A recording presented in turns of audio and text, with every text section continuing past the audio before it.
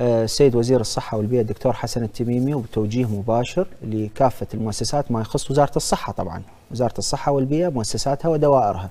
أنه يكون ال- ال- الإعلام مركزي وهو شخصيا يشرف على كافة البيانات وهذه ال- ال- اللي, اللي تصدر بشكل رسمي من خلال وحتى غير الإعلامي. دكتور يعني حضرتك الآن دكتور نعم. سيف تكتب ممكن على صفحتك الشخصية بال social media نعم. رايك بما نعم. يخص قضية ما تخص كورونا نعم. الناس ما تتعامل وياه أنه رأيك الشخصي ونحن ملتزمون بذلك آه، كم- كمتحدث باسم الوزارة إحنا كل التصريحات تكون بعد نقاش والسيد الوزير يشرف عليها والسادة وكلاء الوزارة وطبعا دائما إحنا منهجنا آه، مع الجميع هو العلمية والصراحة إحنا ما عندنا يعني كثير من الناس موضوع الإحصائيات من نقول عدد يقول لا الحقيقة أقل والعكس صحيح البعض نعم. يقول أنتم تبالغون إحنا التوجيه المباشر من السيد وزير الصحة انه كما تأتي المعلومات تسوقوها بأسرع وقت للمواطنين للرأي العام حتى يتفاعل معنا ويعرف إيش دا يصير إذا نجحنا أو أخفقنا لا سمح الله.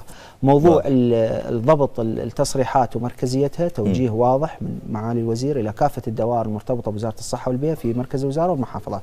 أما الوزارات الأخرى الجهات الأخرى نعم. حكومية وغير حكومية طبعا هذا مسؤولية الجهات الإعلامية نعم. الأخرى وإحنا متواصلين وتعاون مباشر مع المكتب الإعلامي لمكتب رئيس الوزراء وأيضا هناك توجيهات بضرورة توحيد الخطاب الاعلامي مرة